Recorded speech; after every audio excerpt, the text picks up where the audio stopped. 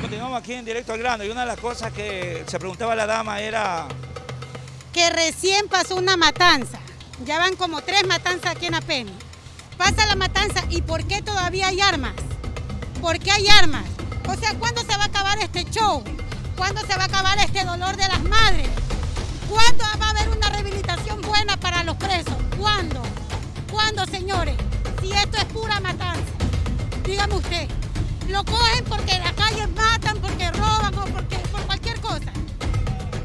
¿Y por qué aquí vienen y lo matan y se hacen peores los presos? Porque aquí mismo está la mafia. Los mismos guías, los mismos policías le meten armas a los presos. No se va a acabar esto. Entonces, ¿por qué tanto drama, yo digo? ¿Por qué, ¿Por qué ellos juegan con el dolor de los padres? ¿Por qué?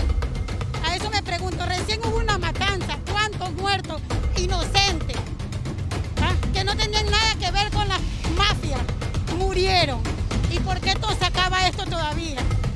Dígame usted. Eso hasta yo mismo me pregunto eso. ¿Hay alguien que pueda dar una respuesta a esto? No hay nadie. Porque ellos mismos le venden las armas. Entonces esto no se va a acabar, amigo. ¿Usted tiene algún familiar adentro? Yo tengo a mi hijo, que inocentemente está preso aquí. Mi hijo está pagando tres años aquí preso. Y hasta el día de hoy ya le falta un mes para salir.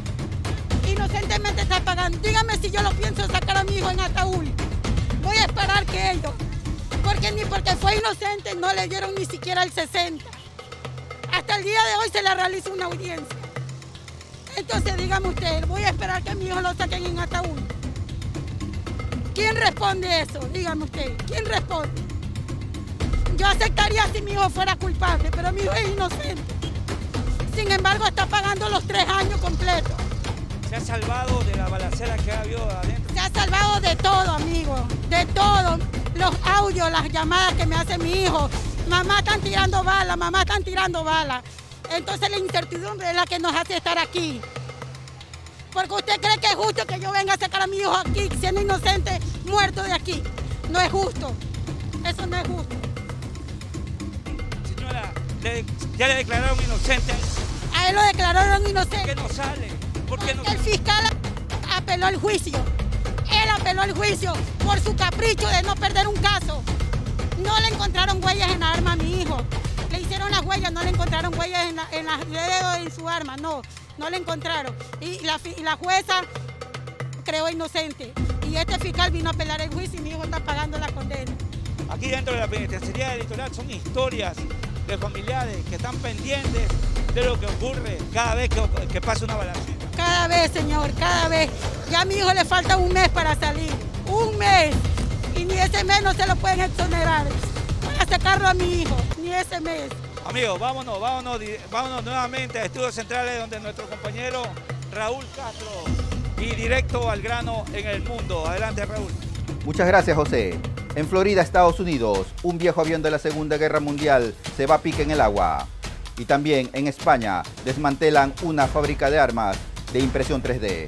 Esto y más es lo que veremos aquí en Directo al Grano en el mundo. El primer taller ilegal de armas 3D en España fue desmantelado en Santa Cruz de Tenerife, en las Islas Canarias, por la Policía Nacional y la Agencia Tributaria. Los agentes intervinieron dos impresoras 3D, 11 bobinas de filamento para impresoras de este tipo y varios dispositivos informáticos empleados para esa práctica. También hallaron dos pistolas taser, cinco cuchillos, un machete y una katana, así como una serie de objetos con simbología suprematista. También hallaron dos pistolas taser, cinco cuchillos, un machete y una katana, así como una serie de objetos con simbología supremacista, entre ellos dos banderas con un triskel y una funda para pistola con un emblema militar de la Alemania nazi. Además se encontraron más de 30 manuales, uno de ellos terrorista, sobre temas militares, guerrilla urbana, fabricación casera de explosivos y el uso y manejo de armas de fuego, así como sobre la fabricación de dichos instrumentos mediante impresión 3D. Con ayuda de perros policía detectaron sustancias químicas que podrían ser utilizadas para elaborar artefactos explosivos. Como resultado de la operación, la policía detuvo a una persona. Se registra una explosión y un incendio al interior del complejo petroquímico de Pajaritos, propiedad de la empresa estatal mexicana Pemex, ubicada en el estado de Veracruz, en el sur del país. De acuerdo a los reportes de las autoridades locales, el accidente se originó en una tubería de gas natural de alta presión que se incendió. Como medida preventiva, cerca de 200 personas fueron evacuadas de la planta y de las zonas aledañas. Posteriormente el fuego fue sofocado. A causa del siniestro quedaron dañadas dos líneas eléctricas y cuatro circuitos de media tensión, lo que afectó el suministro a cerca de 9.500 hogares. Coincidentemente, el siniestro ocurrió en el quinto aniversario del fatal accidente en la misma planta petroquímica, en el que perdieron la vida 32 trabajadores y más de 160 resultaron heridos. El famoso youtuber Jake Paul, de 24 años, se enfrenta al luchador profesional estadounidense de artes marciales mixtas, Ben Askren, en una de las peleas de boxeo más esperadas del thriller Fight Club, celebrada en Atlanta, Estados Unidos. Durante el evento principal de la velada, el bloguero le da la bienvenida a Askren, quien acababa de salir de su retiro de la lucha. Al poco tiempo de haber iniciado la primera ronda, Paul le propina un certero puñetazo de derecha a Askren de 36 años que acabó desplomado sobre la lona. Askren consigue ponerse en pie, visiblemente afectado por el golpe, por lo que el juez decide detener la pelea al minuto 1.59, declarando un nocaut técnico. Tras su derrota, Askren admitió que protagonizó una pelea decepcionante. Por otro lado, en sus últimas tres batallas importantes de exhibición, Paul ha sido el ganador. Durante una exhibición aérea en Florida, Estados Unidos, un avión torpedero Grumman TBF Avenger de la Segunda Guerra Mundial sorprende, pero no por sus piruetas en el aire, sino por realizar un aterrizaje de emergencia, poniendo en peligro a este montón de turistas en la playa de Cocoa Beach.